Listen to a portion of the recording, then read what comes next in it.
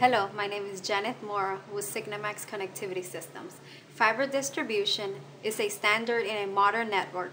Signamax manufactures a wide selection of fiber distribution enclosures for multi-mode and single-mode fiber of all types. For your larger fiber distribution systems, our high-density rack mount fiber enclosures are the best choice. They can accommodate up to 288 strands of fiber by using adapter plates that can hold up from 6 to 24 fibers for ST, SC, LC, and MTRJ connectors. These connectors can be multi-mode, multi-mode laser optimized for 10 gig Ethernet, or single mode versions.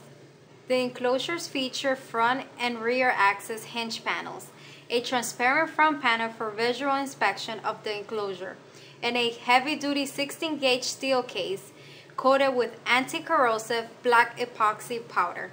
Rubber grommets protects fiber point of entry and the interior fiber slack management features ensure proper bend radius. Optional optical fiber splice trays are also available. For smaller fiber count systems, Signamax rack mount slide out enclosures are your solution. They offer low profile easy access and management of optical fiber termination in a one rack space design. The same Signamax adapter plates are used. The transparent top cover allows visual inspection of the fiber management features. For solutions other than rack mount, Signamax wall mount fiber enclosures are ideal.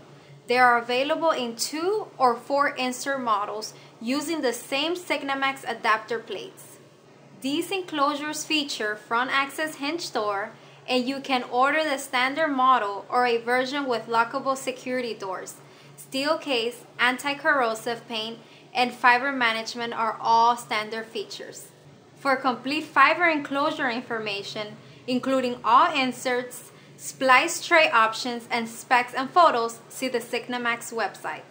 Please call us today to make Signamax fiber enclosure part of your network design. Reach us at 800 446 2377 with any questions or to find a distributor near you. At Signamax, customer satisfaction is our number one priority.